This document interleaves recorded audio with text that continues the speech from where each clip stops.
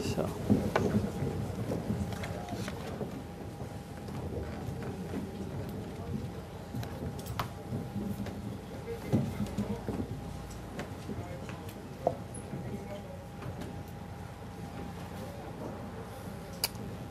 Betone da betone bo gamer jobet Margaret Sandibit.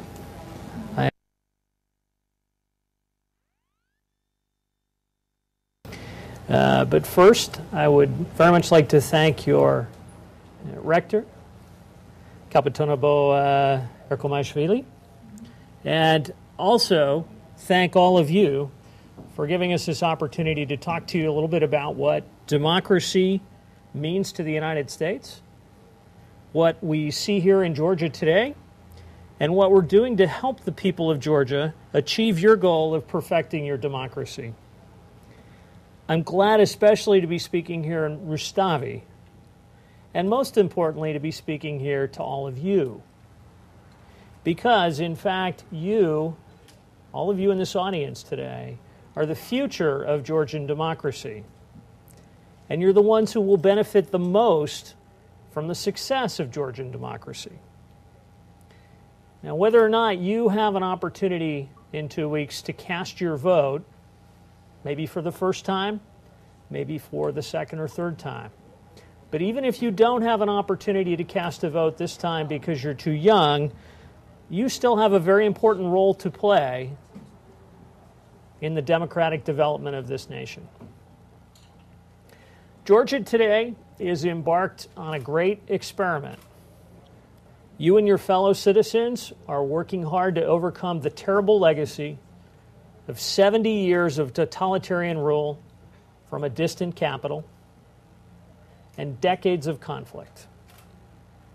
20% of your territory is occupied by Russian troops. Hundreds of thousands of your fellow citizens cannot go home at this time. But even with those obstacles and that legacy, the citizens of this country and your government continue to work hard to strengthen your young democracy, to build the habits and the culture of democracy. I commend you, all of you, on that choice because we believe democracies that respect individual rights and personal liberty create stability and economic opportunity for all citizens. And you have made remarkable progress in a very short period of time, especially when one looks at the conditions of democracy in the rest of the former Soviet Union. Now, these upcoming local elections are an important part of the process of continuing to grow your democracy. And that actually, that word is my first point today. Democracy, true democracy, is a process. It's not perfect, it's often frustrating, and it takes time. It takes a deep commitment to see the changes you are making through to their logical conclusions. And I'm not just referring here to a deep commitment by the government. I'm talking about the obligations of the citizenry, of all of you, to ensure that your democratic processes and habits and culture take root. And I use the word obligation for a reason. Because democracy is not simply a choice that magically happens. It's a system of governance, and it's a system that imposes obligations on all elements of society. First and foremost, that obligation rests with the government of Georgia. The government has obligations to all of the people of Georgia. The opposition those in opposition to the government have an obligation to act constructively. The press, the media, has an obligation to inform all of you so you can make good decisions. Civil society, non governmental organizations, have obligations to advocate and analyze and represent the interests of broader communities. But most importantly, all of you, the people of Georgia, have the obligation to take an active role to ensure that your country becomes a stable, mature democracy. Without active participation by the people, by all of you, no true democracy can function, nor can it endure.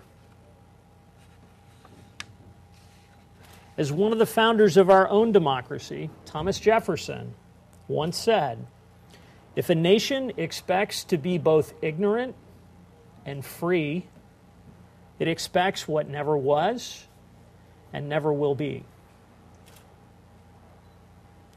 Less than a year ago, speaking to your parliament, Vice President Biden described the work remaining to fully realize the promise of the Rose Revolution by all segments of Georgian society.